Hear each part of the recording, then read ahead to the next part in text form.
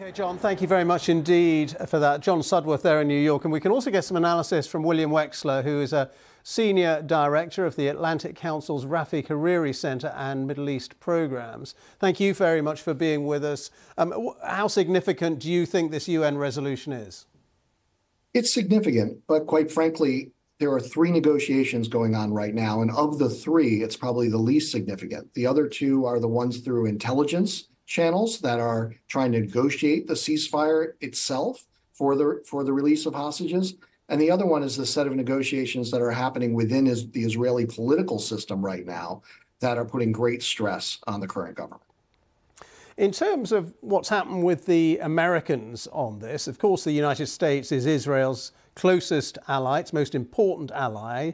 How big a shift do you think it was for the US to abstain on this vote? And, and, and what will be the consequences of the United States' relationship with Israel now?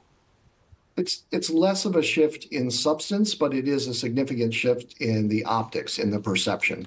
This resolution was better than the ones that the United States had vetoed in the past.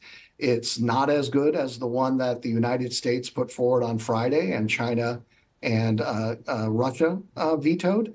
Um, it doesn't call out Hamas, which, of course, the UN Security Council could have called out Al Qaeda one day after 9 11, but still to this date has not called out um, Hamas for its terrorist activity. But at the end of the day, the Biden administration decided to let this go through because it had accomplished much of what it wanted to accomplish with one of these resolutions.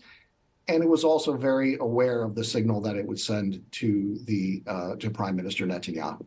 And Prime Minister Netanyahu, as we were hearing earlier, has cancelled that delegation to Washington. I mean, is that just a, a symbol of his anger, do you think? Is that as far as it goes?